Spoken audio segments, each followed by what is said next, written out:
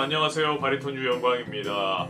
아 오늘은 다름이 아니라 제 2차 엄밀히 말하면 3차지만 라이브 예고하려고 카메라 켰습니다. 제가 저번 크리스마스 이브 라이브 때 여러분들께 다음에는 한국 시간에 맞춰서 라이브를 좀 켜보겠다 라고 말씀을 드렸는데 이번 주 1월 16일 토요일 한국 시간 밤 10시 제가 저번에 어, 마지막에 저번 라이브 마지막에 밤 9시에서 10시 그쯤에 시작하는 게 미국 시간 시차 뭐 시간 차이 때문에 그쯤에 시작하는 게 가장 좋을 것 같다라고 말씀을 드렸을 때 여러분들께서 괜찮다고 말씀해 주셔서 제가 그 시간으로 골랐습니다. 여기는 뭐 토요일 아침 토요일 아침 8시인데 제가 그날 7시간 열심히 자고 일찍 일어나서 아침 8시에 여러분들과 함께 라이브를 하려고 합니다. 어, 제가 이번 달부터 한 달에 한 번씩 마리톤 유영광의 뭐 토크 콘서트라고나 할까요?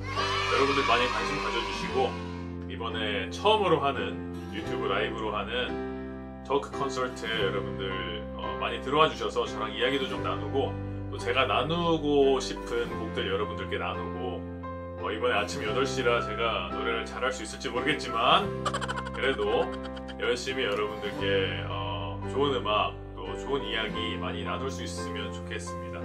여러분들도 많이 들어와 주시고요.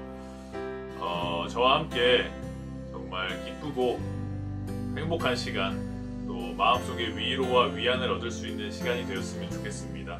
저도 이렇게 여러분들과 이야기하고 또 노래 나누면서 제 삶의 이야기 나누면서 저도 되게 기분 좋아지고 평안해지고 그러거든요. 또 여러분들도 같은 마음으로 이번 어, 라이브에 토크 콘서트에 여러분 어, 많이 들어와 주시면 감사하겠습니다.